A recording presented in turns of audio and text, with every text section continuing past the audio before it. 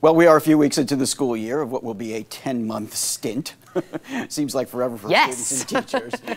uh, the summer is a time when eventually uh, both can rest and recharge. Yeah, and for 25 lucky teachers, there is actually a fellowship that allows them to take a trip anywhere in the world. Amazing. Wherever they want to go. 10 Tampa Bay photojournalist Tim Bergquist talked with one of last year's winners about the experience and what it means now for her classroom.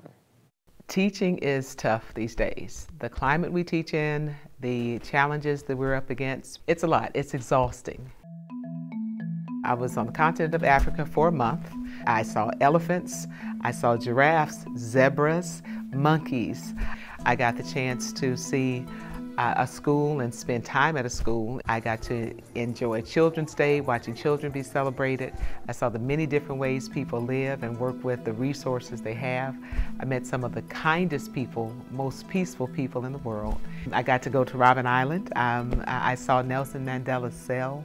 I think life lessons are embedded in, in everything that students learn academically. It is wonderful saying, if you haven't seen the Indian Ocean, here's a picture right here. Look at what's in the world that you're a part of. Look at where you can go as well. I had the chance to eat a worm, play some drums, see some dancers. The worm was really good. The worm was actually uh, crunchy on the outside and soft on the inside. It was seasoned well. It, it didn't taste like chicken, it tasted like a worm. I stood at Victoria Falls and saw a rainbow and knew that I had everything I needed to revitalize me and refresh me and I could return a new person. It made my life this, uh, this year. It made it, uh, made it so much easier to return to work. I do think every day of what I can share with my students that reminds them there are some wonderful things in the world and I want you to, to be prepared to be a part of it because it gave me the chance to feel like teachers are special too. I'm so appreciative of all of our teachers. My mom's a teacher, my sister was a teacher, and I just look at everything that they have to go through.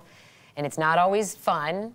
Sometimes it's like eating a worm. What, if, right, what have we learned from this? What have we learned? The Try worm is things. good. Try new things, right? I love it. Well, the program is part of a $320,000 grant from the Barancik Foundation to continue the Time Teacher Fellowship Program and honor Margie Barancik's chosen profession. So thankful to them. And to be eligible, teachers have to work in the Sarasota County school system for three years, and then they have to agree to teach for three more years after the trip. I that's worth Share it. their experience.